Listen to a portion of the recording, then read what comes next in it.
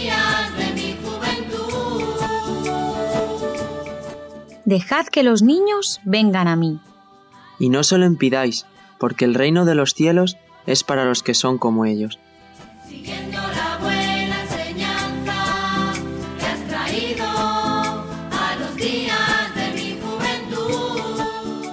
Estas y otras muchas palabras de Jesús, el Hijo de Dios, son las que nos inspiran para servir a nuestro Señor en este maravilloso terreno, de sembrar la palabra de Dios en el corazón tierno de los niños.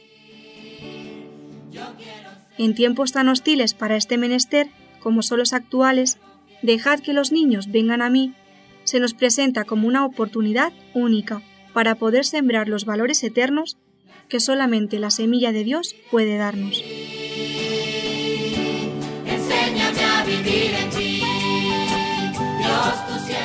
Dejad que los niños vengan a mí es un trabajo realizado por las jóvenes de la Iglesia Bíblica Reto a la Esperanza en La Coruña. Es un viaje, una aventura que recorreremos juntos a través de las vidas misioneras de hombres y mujeres que nos dejaron un legado de fe, esperanza y amor.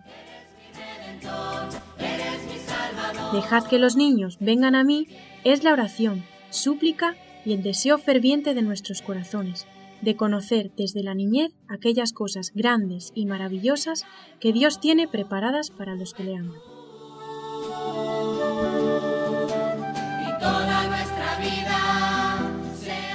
Dejad que los niños vengan a mí. Y no se lo impidáis.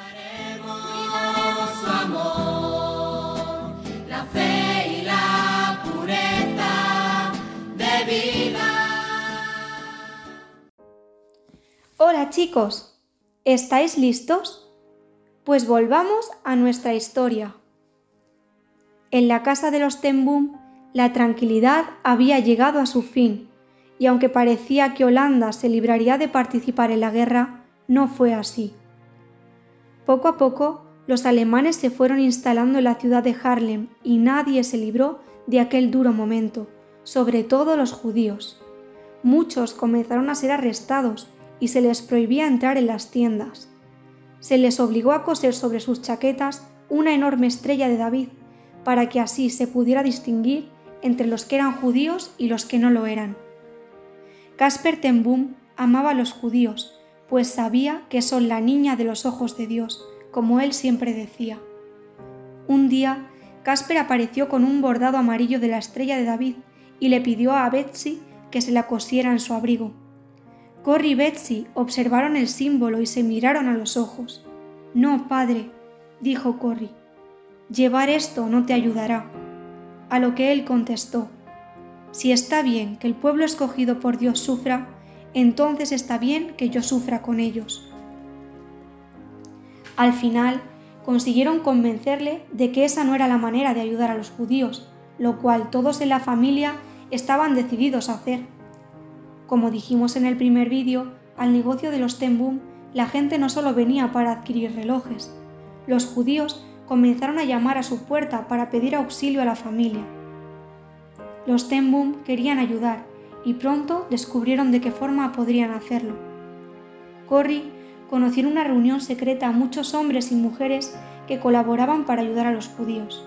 En esa reunión le hicieron a Corry una pregunta, una pregunta que lo cambió todo.